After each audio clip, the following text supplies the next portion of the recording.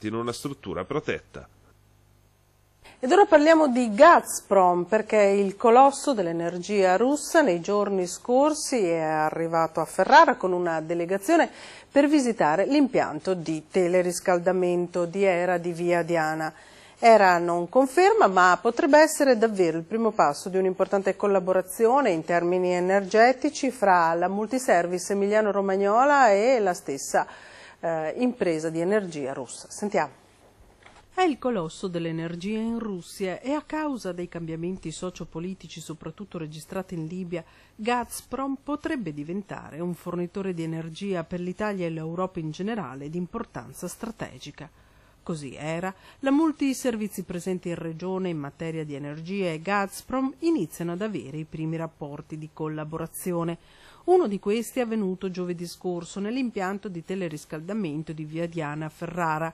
15 persone, tutti tecnici, compresi i tre direttori, sono arrivati in città e con personale ERA hanno visitato l'impianto ferrarese. Un incontro, tiene a precisare la stessa ERA, per ora solo occasione di scambio di informazioni di natura tecnica. La visita della delegazione di Gazprom, tuttavia, potrebbe essere anche il preludio di futuri scambi e importanti collaborazioni del gruppo italiano con gli stessi russi.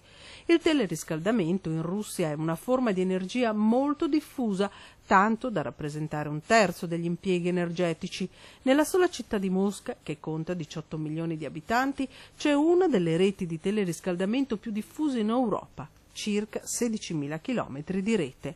Con la visita da parte di questa importante delegazione russa, che si è dimostrata entusiasta dell'alto livello tecnologico dei nostri impianti, si è instaurato un cordiale rapporto di collaborazione che comporterà uno scambio di informazioni proficuo per entrambe le aziende, ha affermato il direttore del settore teleriscaldamento di Era, Fausto Ferraresi, che ha accompagnato nella visita la delegazione russa assieme ai responsabili dell'impianto di Ferrara.